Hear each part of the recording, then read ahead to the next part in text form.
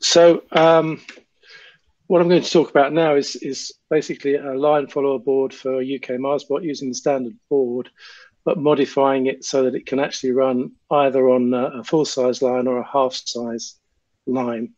Um, uh, and I'll take you through that. Apologies if this is a bit rough and ready because I certainly haven't rehearsed it, although I have done the slides. So um, first thing to say is that standard line follower board on UKMARSBOT is, is quite capable of following a half size line. It seems to have uh, quite good resilience on that. the thing it can't do, of course, is detect uh, start and finish markers and the radius markers because they're they're not where they expect them to be. So I just set myself a challenge really of creating um, an adapter board that could be added to the standard UK Mars line following board uh, and manage both uh, full size line and half size line without having to uh, faddle around with the hardware. So um, if this looks a bit fuzzy, it is. It's because it's blown up from the from the rules. But this is uh, this is basically the, the the configuration of a full size line, a 19 millimeter track with uh, now 40 millimeter markers 40 millimeters away from the side of the line. Uh, and that's the, uh, the line that we, we follow. Now, not to scale necessarily, but not bad.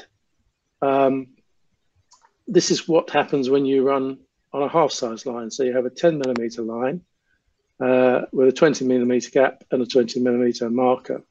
So you can see that the, the radius markers or the start finish markers are in fact um, not going to be seen by any sensible sensor looking for a full size line marker. Um, so basically you have got to do something about those markers, but fortunately um, the line sensor board doesn't use all the available I.O. on UKMARSBOT. Uh, we do actually have two spare analog lines in that we're not using. So this is a, a modified schematic from uh, the UKMARSBOT line board. Uh, and I'll just take you through the different changes on here. I hope you can see my mouse moving around. But basically up in the emitter section in the top left-hand corner here, um, add two more emitters. Uh, so you've got one set of emitters for the radius marker and the, and the start finish marker for full size and a separate uh, pair of emitters for the half size markers. And for those, I've literally just paralleled those off uh, the existing uh, current limiting resistors. You're not struggling for signal of the uh, uh, start finish marker or the radius marker. You're literally looking for is it there or isn't it there?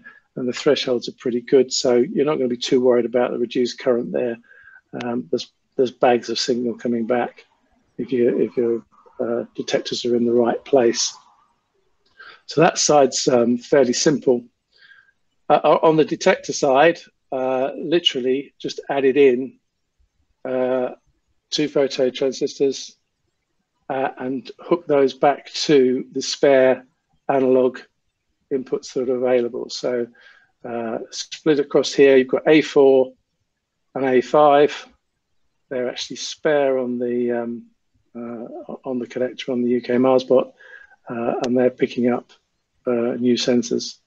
And then down on the motherboard connector, by adding um, literally those two lines, turns out you want to add a, a, a, 5 volt line as well, which is conveniently available at the end of the MarsBot connector uh, you can put a, a four pin uh, standard plug on there and pick up the lines that you need. So the actual uh, circuitry and the schematic is, is, is fairly straightforward. Uh, the lines are there and available. Uh, you just have to, to uh, hook them in. Um, when I translated to strip board, I was looking basically to get, uh, so this is one side start finish. The, the radius side is a direct mirror of that.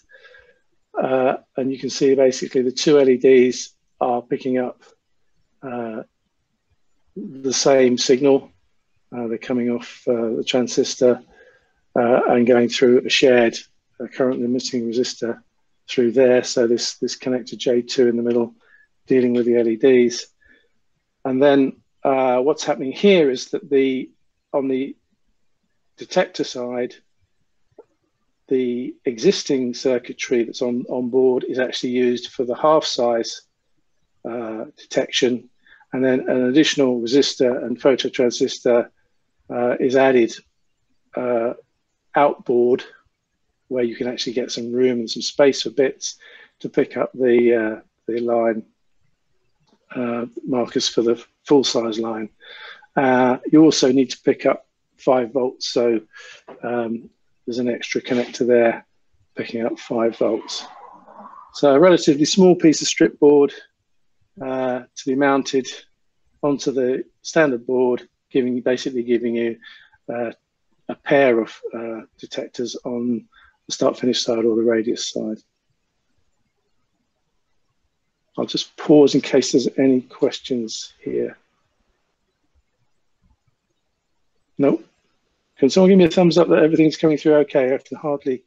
Okay, thanks, Peter.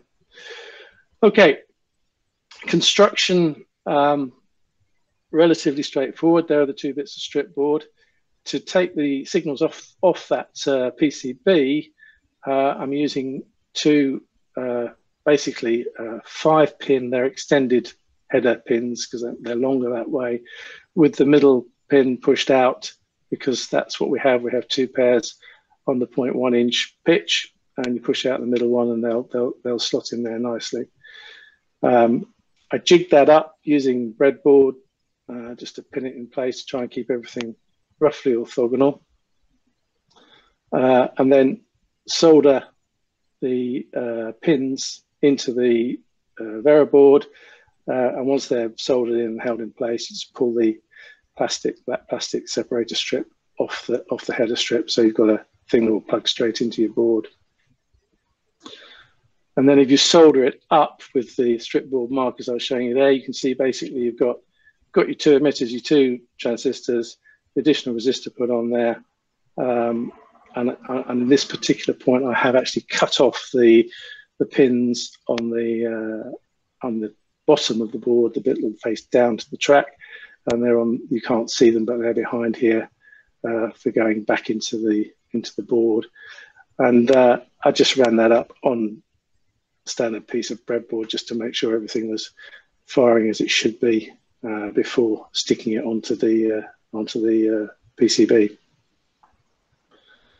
Um, one of the issues there is that um, those markers for the uh, uh, half size line are quite tight in uh, so you need to move the the sensor board in my case, which is always very close against the front of the of the robot chassis board. You have to actually have to create extra holes uh, to move it out um, to give yourself a bit more space. And it also turns out I didn't move it out quite enough. Hence, there's a bit of uh, butchery gone on there to make a bit of space to get uh, LEDs to sit down nicely over over the board.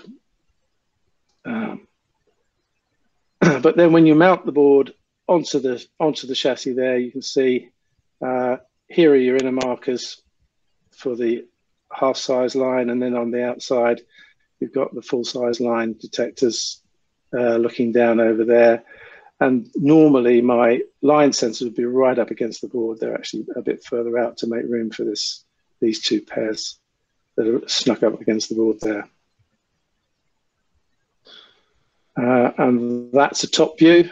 Um, bit of use of uh, hot melt glue to do a bit of strain relief on the cables. Shouldn't really be any strain on them, but uh, these things do happen. And uh, uh, the only other real complication was uh, you obviously need five volts on both sides. So I did that by taking it off and splitting it. Um, you might want to think about actually taking it to one side and then just routing it straight across to the other side. Might be a might have been a tidier solution to getting that uh, five volt supply across. And uh, that's the board there. On the front, you can see uh, I've used a little bit more um, hot melt glue just to make sure there is separation between the uh, strip board and the underside of the PCB. It's all supported on the, um, the, the four header pins here that soldered through, uh, but I didn't want it uh, bending or pushing back or creating any nasty shorts on the on the underside of the PCB. Um, it tells me here I should be playing you a video, so give me a second. I'm going to pop this off present and uh, and put a video up for you. Uh, videos are notoriously shaky when we try and share them like this, but I'll, I'll, I'll try and give it a go and uh, see if we can uh, I can get it to play. Okay. So uh, the first thing I had to do in the um, in terms of software was to figure out what to do about which which version of the uh, of the line are we running on. So what I've actually done is uh, just introduced a step on firing up the robot that says uh, put it down on, on a marker. Uh, the blue light shows it's actually on a half size marker. Uh, press the button, and now the, the, the robot is is programmed to run with half size markers. And this is the explore run on the half size track. And we managed to stop, so we've obviously managed to see the marker. And this is the explore run, which you might just, the, sorry, the fast run, you might just see a slight acceleration on this straight at the bottom. Uh, hard to see on this track because there isn't uh, a lot to play with. Uh, this is the same board on the full size, again calibrated for now for full size. So when we press the button, there's no blue light. Um, so that's now going to run as a full size uh, line follower.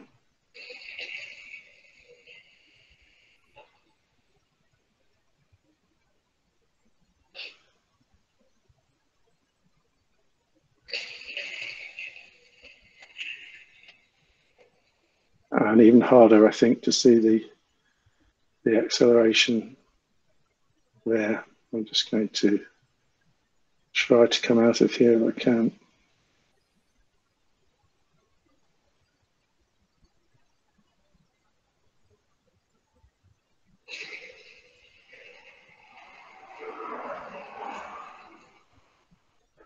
Um, so really only to wrap up with uh, the, the, classic stuff of what would I do differently.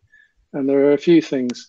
One is I'd think about using three millimeter instead of five millimeter parts, and then the butchery on the bottom of the board wouldn't have to be quite so bad. Um, the other the other option again is instead of having the uh, marker detectors front to back, you could actually put them side by side, which again would reduce the uh, infringement on the main board, and that might improve things.